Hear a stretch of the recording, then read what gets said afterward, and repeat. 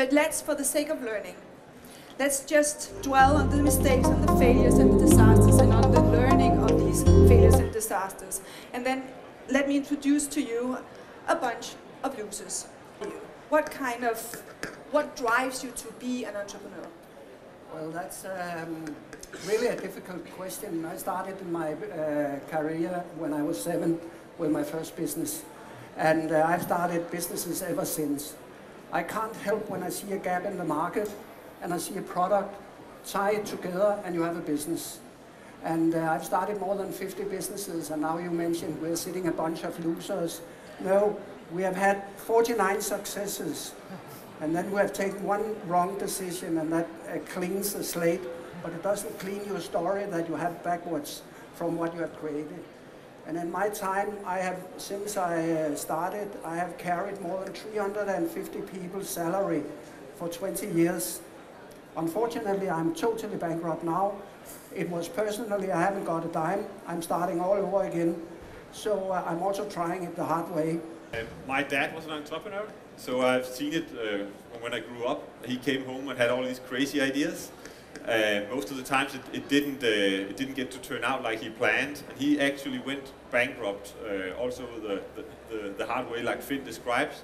So uh, people came and took everything we had and all that. So you you would actually maybe guess that I would not uh, do something as crazy as starting my own companies, but take a job in a bank or something more safe instead. But uh, it didn't really work out that way. I, I, I couldn't imagine doing anything else than starting my own businesses. So that's what I've been done, been doing ever since I was 18, uh, and I co-founded around 20 businesses. I, uh, I actually started getting the sense of how to create stuff when I was around eight, nine years old, and, and we're doing computer games. So I actually started creating them because I suddenly realized one night after playing some games that maybe there are people out there actually making those games. So for the first time I realized that this was a product of other people and I could be one of those. So then I started creating computer games. And that, that's where I got the, the sense of, you know, the creating sense uh, into my body and my mind. So the rest of my life I've spent the time just figuring out what can I create or uh, primarily today more about where do I see problems. I always get annoyed when I see something that doesn't work. I want to fix it.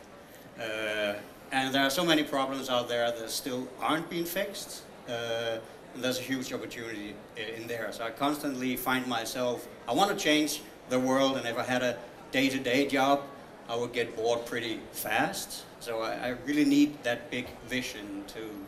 It's, uh, you know, if you were creating Facebook and you wanted to go out and talk to customers, that's a bit difficult. You've got to put it out there and see if it gains traction.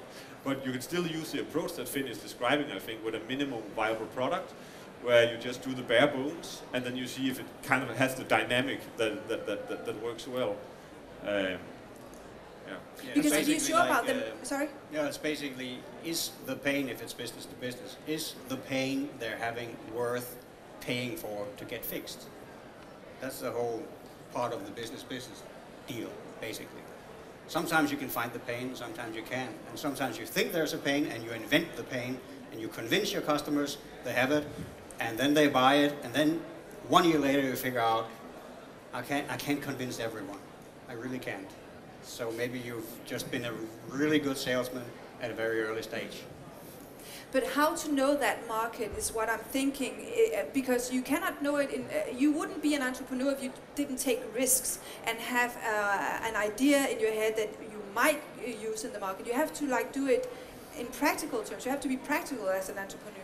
Uh, how can you how can you assess the market like you say you have to do? You well, um, I haven't yet met a product I couldn't go out and access the market with.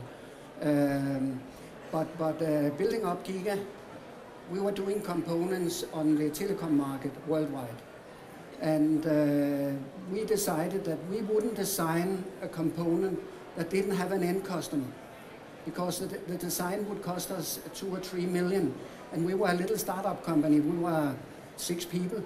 We didn't have a dime. We had lost all the money when I started as a CEO. So uh, we had three and a half million Danish kroner to start from.